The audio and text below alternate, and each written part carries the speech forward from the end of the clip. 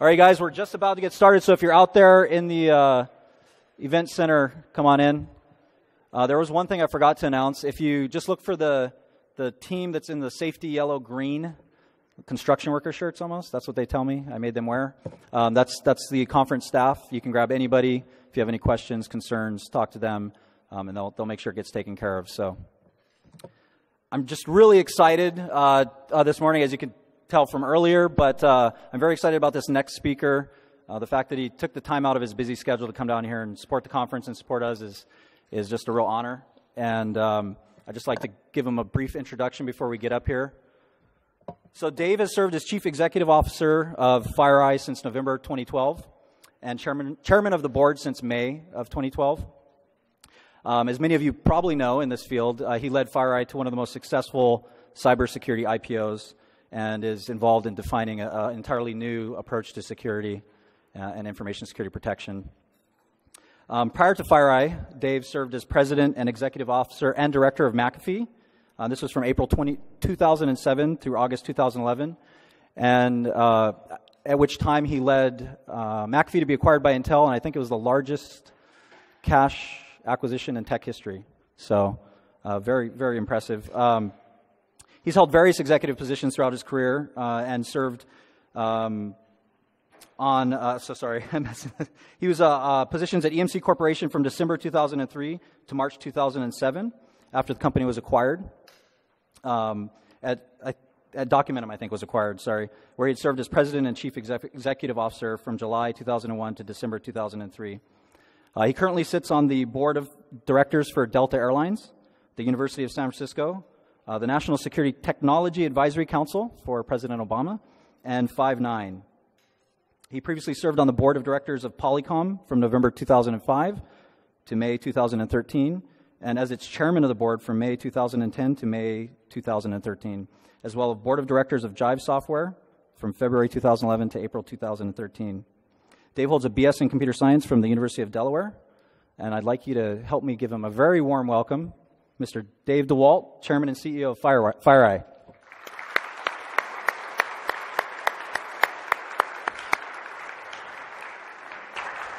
Thank you, Jason. Awesome. Good morning. How's everybody? Well, Shakacon 6.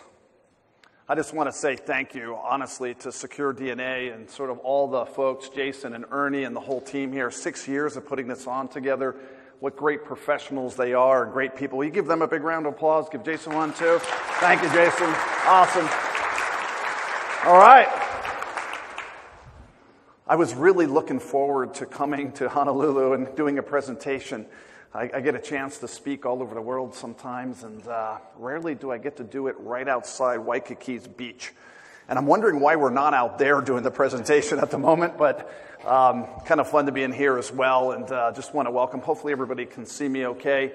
Um, I think the bio is going to be longer than my presentation, so apologies for, for that. Um, I was going to go on when I was age eight. I wrote my first program, and uh, well, we missed that in the bio. Anyways, hey, um, I'm going to try to talk on a serious note today about kind of what's happening in the world. I know a lot of you are, are very seasoned uh, security professionals.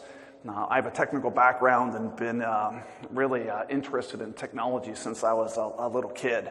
And uh, it's amazing kind of what we're dealing with in the world today. Just absolutely amazing.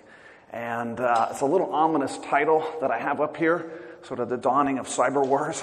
Uh, but uh, I've really seen an incredible amount of evidence to suggest that we, we really are on the precipice of some pretty dangerous times in the world. Um, if you link back about what's happened over, over mankind's history, whenever a new domain is discovered, typically mankind has a conflict over it. You know, whether it was the uh, lands or oceans or air or space or, or now cyberspace, we end up finding ourselves really with conflict. And that's kind of where we're at right now. Uh, when, I, when I first got involved with some of the, the global superpower conflicts that are happening, I was the CEO of McAfee. And uh, in 2008, we had a, a, pretty famous operation called Aurora. Anybody remember Aurora? Pretty interesting attack. Uh, we were involved with it at McAfee and ultimately discovered that Google had been hacked, and we'd gone in and seen some of the evidence of how the JPEGs were loaded down, the spear phishing occurred, who they were targeting, how they were going after the systems. And over the course of about a 30 day period, we ended up finding 153 companies with a very similar attack, all in Silicon Valley, all focused on source code, uh, bug databases, uh, kind of quality assurance systems, and we realized for the first time how long the attacks had been in place, what the research was going after, and just you know how powerful the system ultimately was. I found myself uh, being invited to the White House uh, about 30 days later, and um, President Obama had just gotten in office beginning of 2009 and my job was to brief the president on what had happened with Operation Aurora. So here I am presenting, you know, what malware is and APTs are to the president of the United States. I, I literally was like, you know, pinch me. It was pretty amazing time. But, you know, fast forward six years later, and we're giving briefings to the premiers and presidents all over the world on what's happening in cyber. And uh, we've just elevated from one DEFCON level to another. And uh, we've now arrived at uh, indictments of major military officers in China. Most of you have probably seen it. It's a pretty serious situation we're all in. So I want to kind of paint this for you and give you a little insight to what I see around the world. I have a pretty interesting view to what's happening you know, with travels, uh, um, not only with FireEye, but also with the National Security Council also my views from safety and security of Delta Airlines, and to sort of how physical and cyber terrorism and security are coming together. And uh, tell you a little bit about what the offense is doing, how uh, powerful that offensive model has become, uh, in many ways, how weak the defensive model has become and how dislocated it's been, and then ultimately a little of kind of where it's all going. So um, I like to start off with an analogy. Many of you uh, probably know this analogy pretty well. Uh, I love history. Uh, hopefully, some of you do too. And I think history is repeating itself literally right now in cyberspace. And the analogy that I like to use comes from um, post World War I. Uh, it's called the Maginot Line. And uh, many of you know what occurred. Uh, if you don't, in 1929, the French had proposed, Andre Maginot, who was the war minister of France, proposed to the French parliament a 9 billion French franc uh, defense system. At the time, 9 billion French francs was nearly the economy for that year. And uh, this was a serious undertaking. Uh, you probably know it was the greatest defense system that uh, the world had ever seen that was about to be built. Uh, this was a series of forts that were essentially put in place every three quarters of a mile. And uh, they were fortified. It was an incredible architecture that was created. Uh, this thing was never seen before every learning of World War I was essentially put in place with this defense system.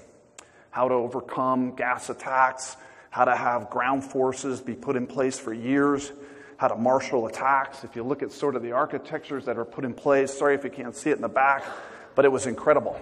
You know, literally air pressure gas chambers, uh, all kinds of long sustaining, you know, up to a decade long sustaining operations uh, complete hangars built into the, the bays, uh, tank commands, you know, tunnels coming in, telecommunication systems, gymnasiums, medical systems. Uh, this thing was a work of art. And probably what's most amazing about it, it was never used. Most of you probably know this. Um, the uh, ultimate defense went all the way from the English Channel all the way down to the Mediterranean Sea, uh, literally every three quarters of a mile. Pretty impressive uh, system. Uh, there's actually two of them that was built, the Maginot and the Alpine line, one across Italy and another across the, the French border. And uh, most of you probably know this. When the Second World War was, uh, was done, the Germans, with superior technology, bypassed the Maginot line in literally days and occupied Paris in six weeks from the outbreak of the war. So, 9 billion French francs, greatest defense system ever built and uh, built from the previous kind of war and ultimately defeated in days. So, what I kind of see happening today is almost the same Maginot Line kind of analogy. Most companies are putting in place a very complicated, complex defense in depth model. And at every layer of the architecture of the network and the endpoint and the cloud, we're building incredible architectures, advanced next generation firewalls, you know, proxies for the web gateways, the email gateways, intrusion detection prevention systems, data loss prevention systems, all kinds of SQL injection systems, and the list goes on and on. The average company, Fortune 500 company, spending, spending over $100 million a year in defense in depth. Pretty amazing numbers.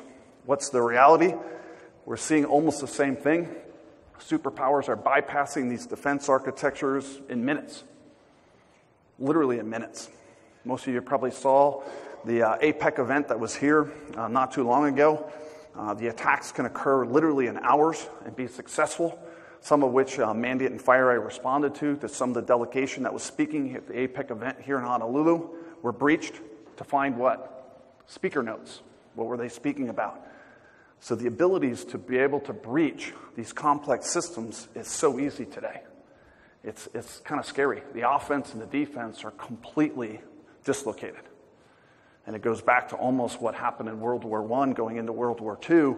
The architectures that we have in place are creating a massive hole. They all have an Achilles heel. And the understanding of, hey, I've got antivirus, I put in these defense in depth layers, somebody's going to find it. I've got 30, 40, 50 different security vendors. I put in all this technology, and of course, I'm secure. And the reality is, most companies are not secure.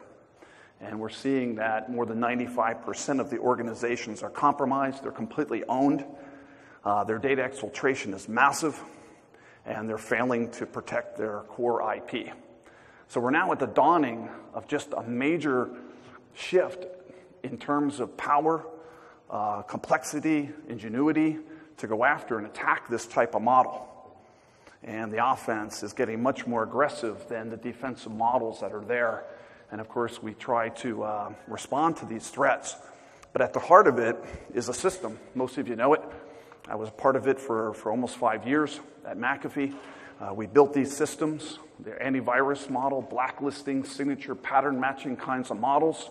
And what would we try to do? Figure out how to match a virus. Uh, we'd write a signature for it. We'd write thousands of them every day. We'd release our data engines you know, multiple times a day. And uh, we'd send them out to every computing device. McAfee had nearly 300 million computing devices that we would deploy it to. And we would send these out and ultimately became 60 plus million signatures that we're updating every day. And of course, the effectiveness of this system is not very high today. In fact, I'll show you in a minute, it's in single digit effectiveness. And what do we do? We put that different antivirus model from McAfee or Symantec or Trend Micro or Kaspersky, Sophos, name a vendor, or an IPS solution, something at the firewall, and we put this model in place everywhere. 25 year old model that has single digit effectiveness. And when you look at what's happened, you're seeing that the average breach from the time of infection to the time of discovery is 243 days. This was over almost a thousand incidences that we responded to over the last two years. The average infection, 243 days. From the time it was placed to the time we discovered it, and then ultimately another about 32 days it took from the time of discovery the time of remediation. So 270 plus days to go from time of breach to figure it out. What's most interesting is 63% of those companies learned about it from someone else. They couldn't discover it with their own technologies. It came from an agency, uh, came from a private vendor, and almost all of them, 100% of them, had up to date antivirus, and most of them had it at every layer of the architecture and I'll show you some stats here in just a minute. It's kind of an interesting state of things. Spending $100 million a year on average, Fortune 500 company, and ultimately 98% of them or so are breached. Most of them are finding out from a third party, and most of them have the attacks in the network for almost a year. It's kind of the state of reality of what we're seeing out in the market. So at FireEye, we did a little study just to kind of prove what we were, what we were seeing in a combination of Mandiant and FireEye, we looked at uh, 1,217 companies over the course of about a 100 day period. And this was just done recently, um, from about December till May. And we did it across uh, 1,614 appliances at FireEye, 67 different countries. So this was the first time that we looked at a network, either through an incident response or through a FireEye appliance. And the reality of it was quite interesting. We ended up doing it across a lot of different verticals financials, high tech, government, uh, banking across the board. Again, 67 countries, 20 verticals. And what did we end up seeing? 120,000 unique pieces of malware. 75%, 75% of them were seen one time. So, what are the attackers doing today? They write the malware very uniquely targeted at the company. So, 1,217 companies, of all the malware, three quarters of them were seen once. So, interesting, and about 18% detection rate across all of that. And most of that detection rate was across a 30 day period. The antivirus vendors found it 0% of the time in the first two or three days. And then ultimately, about a 30 day period, they discovered about 18% of it. So, kind of an interesting state of things when you sort of look at kind of the summary of that, you end up seeing the numbers like this. One fourth of them, about 25%, saw an APT, a persistent uh, advanced attack. Uh, about 75% of them saw active command and control server activity, which was using data exfiltration. Almost 100% of them used foreign cryptography, so no SSL type connection. All, um, all types of cryptography used. And of course, the average attack was very regular at uh, several times a week. So these are kind of the state of things that we had saw. And then when you kind of look at all of them, almost 100% of them had firewalls, web, network, endpoint, and other anti malware type solutions on the host. So, elaborate technologies, nearly 100% of them breached, most of them having data exfiltration, 67 countries, 20 verticals, 1,000 plus customers. My point of it is, it's kind of the Maginot line that we're seeing. The state of cybersecurity offense is far ahead of the defensive model right now. And when you sort of start to look at what's the modus operandi of some of the superpowers, you'll get an understanding of why this is going to just increase as we move forward. There's no doubt that these numbers will continue to increase. We're seeing it regularly. And the ultimate state of things is this you're starting to see the headlines, and almost ultimately, you're seeing what I think is the greatest transfer of wealth in history happening. Most of it's happening from America and the Western world to the emerging markets. But the intellectual property, the dollar theft, is now measured in hundreds of billions of dollars a year. Hundreds of billions a year. Pretty interesting. So, when you sort of surmise this all, you go like, why is it happening? What's causing this? And what I find really interesting is we have almost the perfect platform of evil that got created. In a great way, all this wonderful innovation that we have is amazing. Every couple months, I have a new cell phone. I'm always connecting on social networks. We all are. We all have all this wonderful information at our disposal, but it's created literally the perfect platform for the adversaries to leverage. And I'm sure over the course of the next couple days you'll see that. But what are we finding? Cyberspace itself, this new domain that we have, is tremendously flawed from a defensive point of view. Why? Because we have no governance model, we're one click away from any website in the world. Any search can connect to just about any domain. 95% of all the domains are in the darknet today. IPv6 and driving towards the new types of topologies we have on the network are adding trillions of addressable devices. And ultimately, we have complete anonymity on the internet. The attackers can hide behind whatever IP address they happen to buy. And now, with capitalism, we can buy domains for three to five dollars, and we can buy tens of thousands of them without any identification. So, kind of an interesting world we're living in where we've got this perfect platform set up, and of course, most of the adversaries are the governments themselves. The superpowers are the ones that are driving these activities. And if it's not directly the superpowers, it's someone acting on behalf of the superpowers. So, this isn't going to change anytime soon. So, kind of an interesting situation that we're leveraged in as we move forward. So think about this from a couple vectors, and this is what I find most interesting. What's going to happen? What's the dark side of this innovation? Kind of think about this in four areas. Probably number one, the cyber espionage kind of components expand. The number of countries that we're tracking now that have offensive activities probably is in the 51 or 52 country range right now. This is up from about eight or 10 three years ago. We believe there's about 51 countries right now that have put in place vulnerability research labs, put in offensive teams, funded those teams, and those teams are very active when it comes to offensive espionage. And that spread pretty virally across the world. Uh, part of the report that I mentioned, the Maginot Line, we now track command and control servers in 204 countries. I actually didn't know there was 204 countries. Um, that's a huge number of hosted domains that are using data exfiltration models and leverage with their telecommunication systems for um, exfiltration of information. So we're going to continue to see this.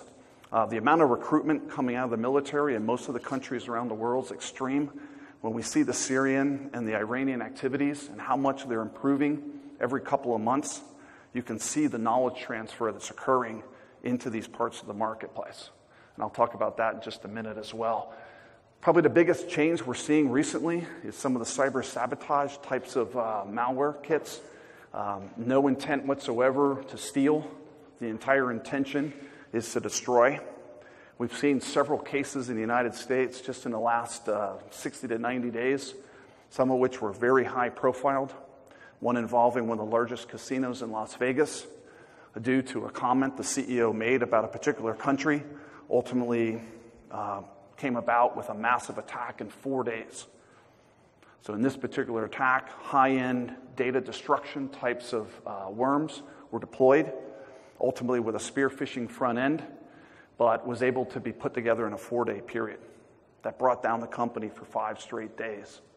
So, kind of an interesting time where the motivations are not only just uh, for crime or for intellectual property, but now for hatred, religious purposes, other types of geopolitical purposes as well. Other types of things, the crime element has really hit the equity markets. So, most of you probably see this. Uh, a lot of change has occurred from what I think of as high volume, low credit card, low dollar amount types of crime, still made famous by Target and a few others. But we're seeing a tremendous amount of insider trading types of activities today and a lot of hedging off that insider trading information. A lot of the breach responses we're doing, we only find three or four or five uh, breached uh, hosts. And what are those hosts? Um, people doing financial controllers, investment relations personnel, anybody who has high access to information. So the whole idea get access to the information, hedge the stock, hedge the commodities, get information ahead of the market, make money that way. Very, very difficult to track that. We have very little regulation in place to do it. And most of the attackers are using bank accounts somewhere in the world with a number of degrees of anonymity. So, a tremendous amount of change in the way in which the crime element's occurring as well. And a lot happening in the Eastern European marketplace today. The last one, which is probably the more frightening one, which I had experience with directly, is a bit of the accidental problem. With all this activity that's occurring from so many different groups, we now track about 300 offensive actors in the world, just to give you a size. Over 300 motivated groups most of them are playing now with very, very um, interesting areas of the operating environments of the stacks that we all you know, find comfort in.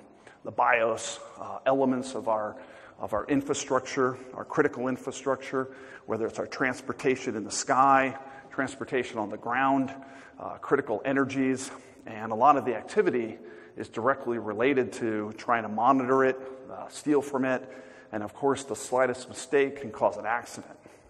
And we've seen a number of scenarios that are this close to creating an accident. And some of the accidents can actually occur from the security vendors themselves or from the vendors trying to patch it in an emergency patch kind of way. Uh, I don't know if you follow FireEye too much, but we just released a, a major zero day in Internet Explorer couple of weeks ago Clandestine Fox. Clandestine Fox was a zero day we discovered in one of our incident responding areas. It, uh, it, hit not only XP, but all the way through all the Microsoft platforms. Microsoft was absolutely amazing in the process and helped patch all the systems. We ended up patching several hundred million devices in a 22 hour period uh, to help remove the vulnerability. And within a weekend, we had gone from non discovery to full patch management in 22 hours very difficult to QA that process to be successful. If there was a mistake along the way, you could reach massive infrastructure in a quick period of time. One of that McAfee, we released a faulty DAT, some of you might know. It was called 5958. We sent the DAT out. It uh, quarantined the boot executable on Windows uh, Service Pack 2, and we took down 3 million computers in 16 minutes over, I think, 1,600 companies. So the accident problem, coupled with some of the crime and sabotage and espionage, sort of creating a very interesting dark side to the scenarios we're facing. So, again, sorry to be too ominous here, but we've got to think about how do we close the defense and the offense. This is probably the number one task that I think as a community of security professionals we have to figure out. What can we do to get it back to very incremental offense and defense activity. Right now, that gap is enormous. The power, the money, the complexity versus what the defense can do is too great. And it's going to create what I just showed you as a problem. So, as you think about this evolution, you know, we had the birth of antivirus as you started to see those first types of virus attacks occurred. Many you know Code Red, Melissa, Love You viruses, things like that. I remember tracking some of those.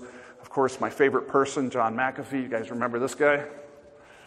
Um, he's, he helped invent that. And uh, of course, uh, I think he's now involved with security again, but a little scary. Um, but nonetheless, we've seen a huge evolution of the types of offense and types of malware creation that's being used. And of course, the defense keeps trying to follow along. In years past, particularly in the last 10 years, we've seen a pretty close correlation. Right about the time we started to see advanced persistent threats, nation state activity at a much higher level, we saw that dislocation change dramatically. And that really obsoleted a lot of the technology that I talked about before everything from blacklisting using antivirus to blacklisting using data loss prevention, intrusion detection systems uh, blacklisting of web URLs, just about everything there began to break apart as we watched the model move forward. So, where are we at today? We now have to figure out a way to do a different type of analysis, a different way to think about things. And it's exacerbated by the fact that almost all the offense is using darknet domains to start and infiltrate their attacks. And I'll show you in just a second almost 100% of the attacks will start with the visible web. How do I lure you to click on a website? How do I start an exploit to occur? But then all the command and control server activity is all happening in the darknet. Stuff that's protected by password, stuff that's highly encrypted, none of which is using standard cryptography, most of which is using anonymity to hide behind. And ultimately, we have a lot of combinations here between the visible net and the internet to access it. So, what are the attackers trying to focus on? Here's what we see almost the number one area the attackers will do first. The offensive model typically starts with going after high tech. Almost all the cases that we see, the large campaigns that are launched, most of them came from an attack on the high tech sector first. What do I mean by that? Typically, it happened where a startup company, a cloud based company, uh, whether it's an Adobe or an Oracle or a Microsoft or an Apple or a Google or someone like that, or a smaller company, the APTs were put in place to go after critical source code, uh, some sort of digital trust certificate, something to gain access to the core of the application as, as unknown as possible. Once we have access to that, we can start to put technology in place that has much longer persistency than any other types of malware that could be used. So, a huge number of the attack vectors we're seeing, measured in hundreds and hundreds of companies, come from this type of attack. Gain access to the bug database, the source code, learn how to load a DLL, try to do something that enables it to be uh, invisible to the, uh, the current systems, leverage that vulnerability, use an exclusive or some sort of polymorphic technique, and then stage it over time. Maybe in the first instance, it's used to download the exploit. It wakes up a couple weeks later. It takes another command, and then ultimately creating a multi staged attack over a period of time, sometimes lasting years as we move forward. So, what do they ultimately do? They'll leverage it across multiple vectors in the architecture. Uh, it can come in through five different domains we tend to see. A lot of it is now moved into the bring your own device area, your smartphone, or some side of take home device. Uh, this area is probably most prevalent today, particularly with the Google platform. I think we're now up over 90% of the attacks are emanated from the, uh, from the Android platform into a spear-phish, not just with email, but now into the mobile. Of course, it's attacking in multiple areas. And what's happened is that Maginot architecture that we have is exploited because these products don't work well together. They don't communicate from one to another. And it creates holes in the architecture as we move forward. Pretty interesting scenario. If you look at the types of attacks that occur, these are the stages we typically see. Stage one, drop an exploit in, understand how to get it to a unique individual in the room, load that exploit down to your device, put it in memory, start to communicate back to a command and control server, load down cryptography, work back and forth with a command and control server, and then ultimately create encrypted data exfiltration commands. That creates probably the most powerful. Um, ultimately, they're going to erase that malware if they can, and then create valid credential login. If we can get the combination of getting the exploit in, erasing the malware, and then logging in validly for a long period of time, it creates the architecture we have today, on average 243 days unknown. It's a pretty interesting model, keeps evolving with these attackers. This is a global cyber threat map, kind of illustrate the picture, if you can see it in the back. This map here shows how many command and control servers we're monitoring every day.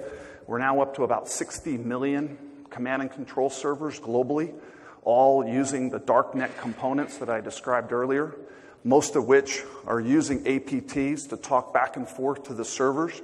Uh, on an average day, we're seeing somewhere in the neighborhood of a few hundred thousand new exploits occur, somewhere in the neighborhood of a few million command and control server communications, and it targets somewhere in the neighborhood of, uh, I think it's 90% in the high tech sector initially and then ultimately emanating out to multiple verticals. So as you kind of watch this map occur, you'll start to see that this APT model that we're using is cutting across over 200 countries as well. So pretty powerful combinations where multi-staged attacks coming in, lasting for hundreds of days, cutting across the globe, hundreds of thousands of unique communications, and of course, most of this is very difficult to track who the actual adversary is. You can see some of the numbers that are up there. One particular point to make 67% of what we tracked were from known good command and control servers as well. This is the, their own website in some cases. The first hop is often a water hole website from the company that's being infected. Uh, we've made a couple of those uh, famous with some of the blogs, but in the case of like a Target or some others, the actual site, the website itself, was actually the launch point for the command and control server activity initially. Then ultimately it became a darknet type of command and control server. Give you a kind of an idea of some of the uh, APT campaigns that we're seeing across the board, high tech to defense to telecom and so forth. These APTs are common across many verticals when they're first deployed. Some of you probably know Ghost Rat, uh, a couple others, uh, uh, Beebus, I'll talk about in a second, but they're very migratory. So once we see them in one sector, we'll see them cut across many, many industries in a pretty quick period of time. Here's the example I just mentioned Operation Beebus. Uh, some of you know this, Beebus? This was on the Defense Industrial Base uh, about a year ago or so. It was targeted the UAVs. This is the unmanned aerial vehicles The uh, attack initially came in from China, uh, initially linked with APT 1, but the idea there was to spear-phish, get an APT in, steal from the AutoCAD repository, gain access to the UAV information, and then ultimately we've now seen that activity permeate in replicated UAVs uh, in the marketplace in China with some of their defense industrial base. And of course, the idea there is to keep up with the latest defense technology. Five stages of attack, multiple hops of command and control servers, several hundred days undetected, and ultimately arriving in a very successful attack me- uh, mechanism. So, when you look at the big four superpowers, just to kind of wrap it up in summary here, you'll see we have a lot happening. In the China origin, we now have 22 groups we're tracking uh, across the Army, Navy, uh, People's Liberation Army, uh, Third Bureau, uh, MSS. These organizations are highly focused in on uh, areas of espionage and activity. Rarely do we see for crime activities related to dollars and financials. Most of the activity is to feed the emerging markets. In the Middle East, we're seeing similar activities, Russia, similar activities, uh, most of which are gaining momentum every couple of weeks, every couple of months, and resulting in pretty successful attacks. Uh, if you sort of look at the Chinese playbook a little closer, you'll see not only is the activities focused entirely on innovation and high tech, but now it's pretty viral around the world as well, not just on the US markets. We're seeing an incredible amount of activity in Japan, incredible activity in Germany, uh, some of the higher innovation countries, lots of focus in that region. And as you start to look at the strategy, low profile, deniability, trying to orchestrate this across teams, and of course, a lot of pretty known attacks have occurred in a pretty quick period of time, some of which I, I mentioned here. These are some of the famous hackers that were indicted in the uh, Pittsburgh federal court, some of which uh, are very active to this day, none of which will actually see a court, I'm sure. But uh, pretty interesting for the first time in history, we're seeing the indictment of Chinese military officers in my opinion, we'll see an equal and opposite reaction occur sometime in the next couple of months. Maybe we're already going to see it, but this event here will create uh, a pretty interesting uh, whiplash back to the U.S. markets, in my opinion. When you look at Russia, similar activity, tremendous activity focused on crime, lots of focus coming out of the Ukrainian markets, Crimean markets, uh, Russian business network markets in St. Petersburg, a lot of focus in on high, um, high volume, low dollar types of activities, particularly with the equity markets, credit card markets, debit card markets. Uh, a lot of uh, interesting personnel involved here. Uh, one of my favorite uh, was some of the botnets that were brought down, and a particular letter that was used. Probably can't see it back there, but um, this was a letter back to FireEye after we brought down their botnet. And of course, what's the saying? Like, what are you doing? Why are you bringing down this botnet? You have no ability to affect the, uh, the outcome of this. There's no criminal prosecution. We're protected by the government, and uh, this is a waste of time, basically. So, interesting to watch the protectionism that's occurring from the governments in most of these criminal activities. And another example of that uh, we just watched with Target and a few other major uh, retailers. Middle East, similar much more focused on kind of geopolitical activities. We've seen a tremendous amount of activity coming from the SEA recently, uh, as well as Ajax Security Group in Iran. Uh, again, sabotage focused, a lot of activity targeted towards high sensationalism of critical infrastructure. Uh, again, a focus on uh, destruction as much as possible uh, we've seen a number of these. Uh, some of these are pretty famous. You probably know them RasGas, Aramco, some of the mole rat activities that occurred as well, and then most recently the big casinos. So as you think about all this activity that's occurring, you know, what are we finding?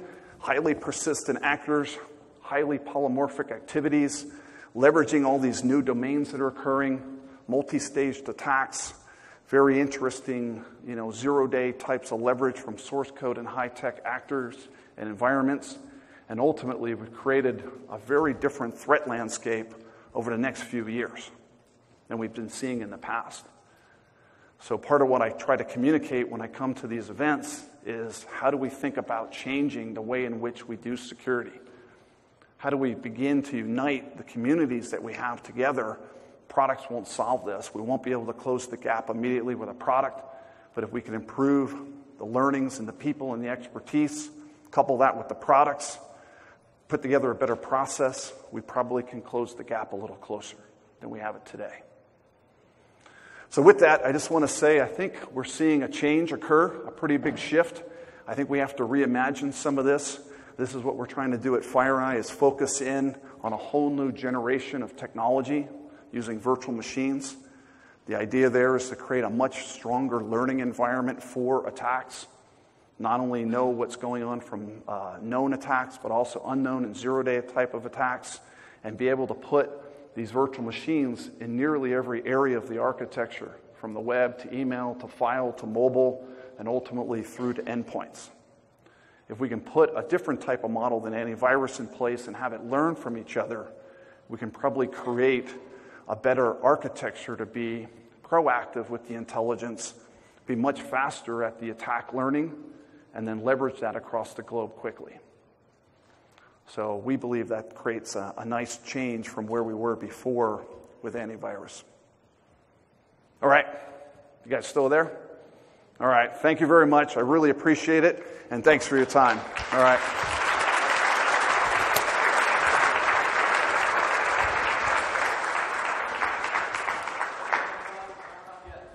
All right. Cool. I get official T-shirt. Shirt. Thank you. Nice. Probably, you guys all know this is a beautiful uh, shirt, right? Ah. FireEye Red. Thank you, Jason. you so- Fire Eye Red too. Kara, we just have to get him to wear it at work. I will. I'll wear it now. Did you want to? Should we do questions or You you guys have any questions for Dave? anything we can answer? Oh, we got one. Love it. Let me do run around and